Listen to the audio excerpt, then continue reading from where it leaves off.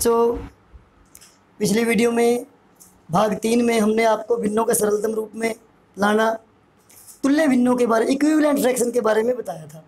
इस भिन्न इस वीडियो में हम आपको हिस्सों से पूरे कैसे बनेंगे, इसके बारे में समझाएँगे।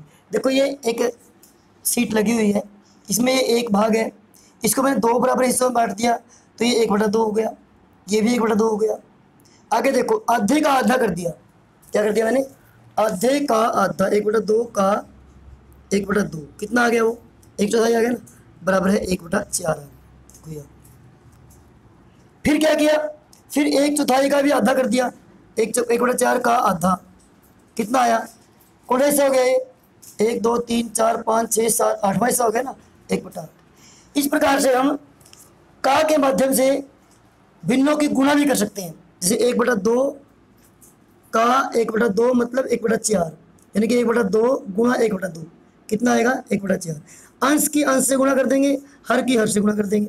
इसी प्रकार से एक बटा चार का एक बटा दो बराबर है एक बटा आठ, यानी कि एक बटा एक को एक से गुणा और चार को दो से गुणा आठ आ गया।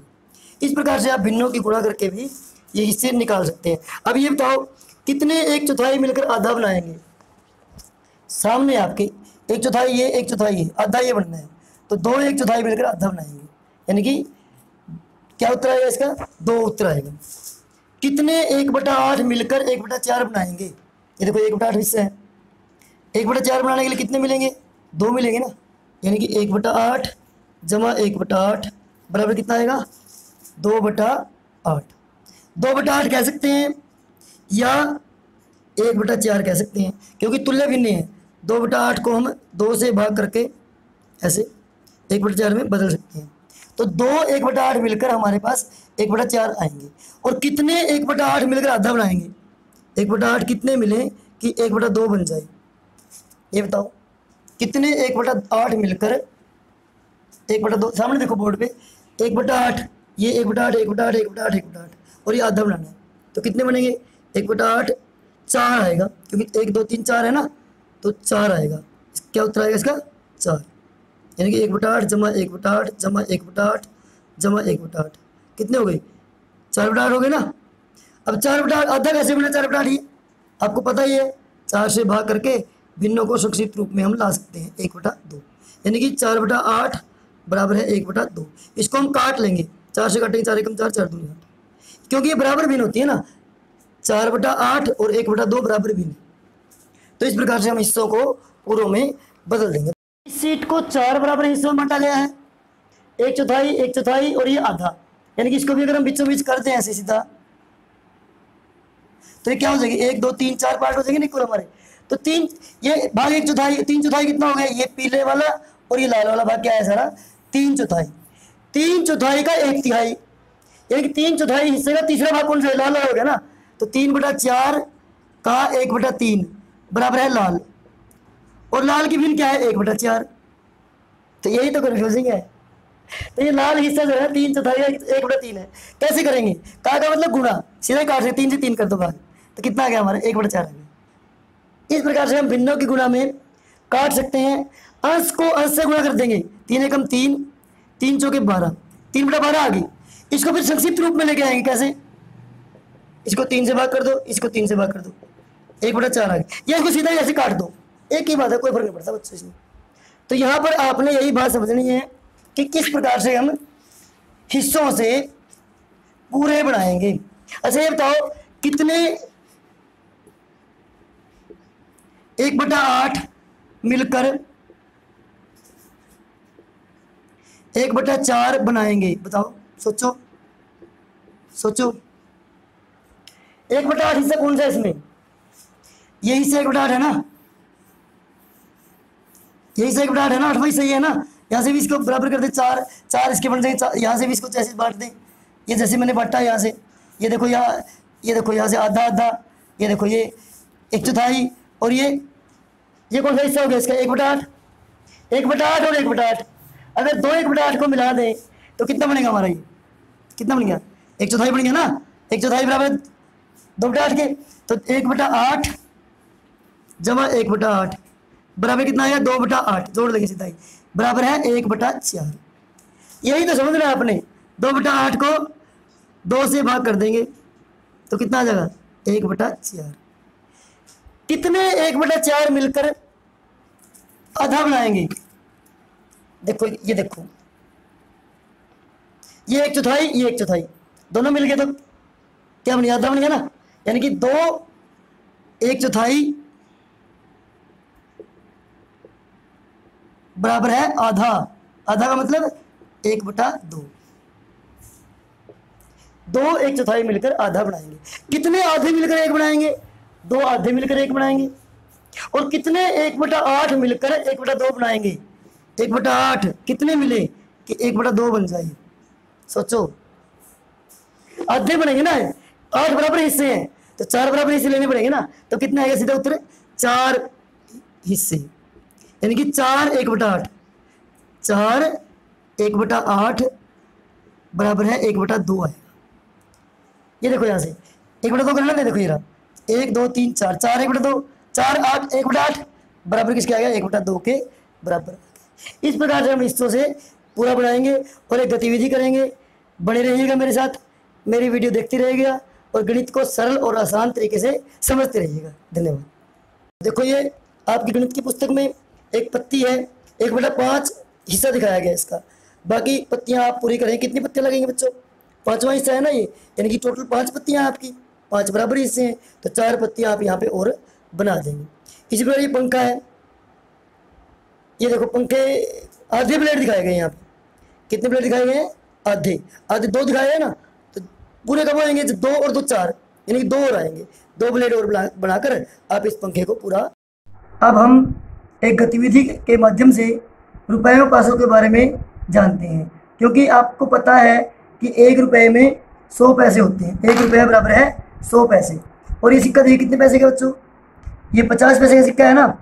तो इस प्रकार से सौ पैसों में कितने सिक्के आएँगे? ये दो सिक्के आएँगे ना? यानी कि पचास पैसे जमा पचास पैसे पचास पैसे जमा पचास पैसे बराबर है सौ पैसे। तो ये पचास पैसे एक रुपए का कौन सा हिस्सा है? पचास पैसे एक रुपए कौन सा भाग है? आधा भाग हो गया ना, क्योंकि दो पचास पैसे मिलकर एक बनेगा। तो एक रुपए को दो बराबर हिस्सों में मार दिया। तो ये आधा भाग होगी, इसको आधा कहेंगे, आधा रुपया। एक बटा दो रुपया। ये इसको ऐसे कह सकते हैं, पचास बटा सौ, क्योंकि कुल सौ थे और पचास लिए। आधा हिस्सा हो गया ना तो ये कितना आ गया? एक बटा दो इसी प्रकार से पच्चीस पैसे का सिक्का देखिए, ये पच्चीस पैसे का सिक्का है।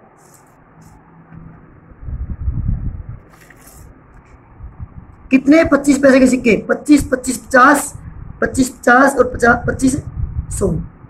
यानी कि चार, एक रुपए में पच्चीस पैसे के चार सिक्के आएँगे। तो ये कौन सा भाग हो गया बच्चों? देखो, चौथाई भाग हो गया ना। पच्चीस पैसे पच्चीस पैसे बराबर है एक बटा चार रुपया। एक रुपया कौन सा हिस्सा हो गया एक चौथाई हिस्सा हो गया पच्चीस पैसे बराबर है एक बटा चार रुपये। इसको ऐसे कर सकते हैं पच्चीस बटा सौ और पच्चीस से भाग कर देंगे। मैंने सिखाई दिया आपको तो एक बटा चार रुपये का हिस्सा बनेंगे। ये हिस्से बन गए, क्योंकि ये एक के हिस्से हैं। और ये बीस पैसे का कितने आएँगे? इस तरह के। क्योंकि बीस बीस पैसे के पाँच सिक्के होते हैं ना तो बीस पैसे बराबर है एक बटा पाँच रुपया और ये दस पैसे, दस दस के दस होते हैं ना तो दस पैसे बराबर है एक बटा दस रुपया और ये पाँच पैसे भाई पाँच पैसे तो बीसवा हिस्सा हो गया ना, क्योंकि बीस बीस, पाँच पाँच के बीस मिला के तो एक रुपया बनेगा। पाँच पैसे बराबर है एक बटा बीस रुपया इस प्रकार से आपके भाग में ये आएगा चल देखिए, सौ का नोट और ये पचास का नोट। सौ का नोट में कितने पचास पैसे आते हैं? दो आते हैं ना? तो ये पचास रुपए बराबर है। सौ का कौन सा हिस्सा हो गया आधा हिस्सा हो गया एक बटा दो हिस्सा। ठीक है? काट दो जिसकी काट दो आपने का निकालना सीखा। जैसे बारह का एक बटा दो। कितना आता है बच्चों? छः आता है ना? अब तक आप ये सीख चुके हैं। चलो, आज हम एक तालिका आपके सामने है ये। इसमें वस्तुओं की, टमाटर, आलू, प्याज, गाजर, लौकी और यहाँ पर कीमत प्रति किलो दी गई है। तो प्रश्न नंबर कौ में, दो किलो टमाटर कितने के आएँगे? बारह रुपए के किलो आते हैं, दो किलो कितने के आएँगे? बड़ी आसानी से बता सकते हैं आप। एक किलो का मूल्य बारह रुपए। एक किलो टमाटर का भाव कितना है? बारह रुपए। और दो किलो कितना आएगा बच्चों? सर गुणा कर देंगे सीधी, बारह गुणा दो। यानी कि चौबीस रुपये आएगा, ये तो पता है आपको। आधा किलो कितने आएँगे बच्चों? यहाँ पे थोड़ा सोचना पड़ेगा। आधा किलो का मतलब आधे रुपये देने पड़ेंगे ना? तो आधा किलो का भाव कितना आएगा? आधा किलो का भाव कितना आएगा? यानी कि बारह का एक बटा दो। कितना आएगा बच्चों? छः रुपये और ढाई किलो कितना आएगा? गुणा कर देंगे। ढाई किलो टमाटर आएँगे। कितने के आएँगे? बारह गुणा ढाई। ढाई कैसे निकाल लोगे बताओ, सोचो, ढाई कैसे निकाल लेंगे दो और आधा, कितने होते हैं? यानी कि पाँच बटा दो।